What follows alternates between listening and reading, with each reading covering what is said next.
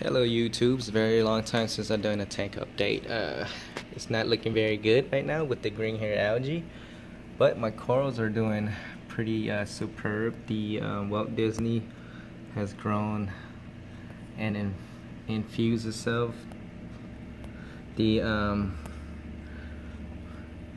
purple slimer is finally fused to the rock. Um, um, the only thing was the um, over here is the uh, Red Planet was being touched by this anemone. He moved to the front, so I had to move him over.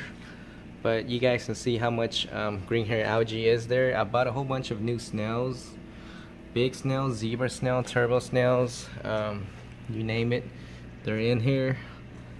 Um, this Sunset Monty is totally taking over right there, guys. It's encrusted. Um, everything seems to be a-okay as far as coral wise. Uh, I got a rock worth of mixed zoas from uh, Purple Hornet to Sunny D's, you name it.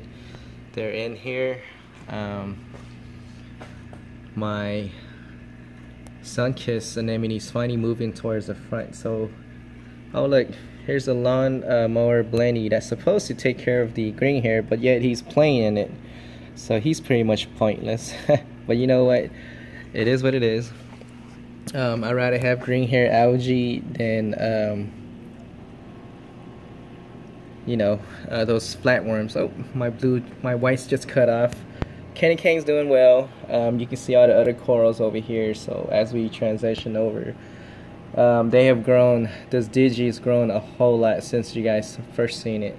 So as far as uh, on, uh, everything seems to be a-okay. Um, everybody's happy. So anyways, that is the latest update, guys. Um, stay tuned for more. Bye.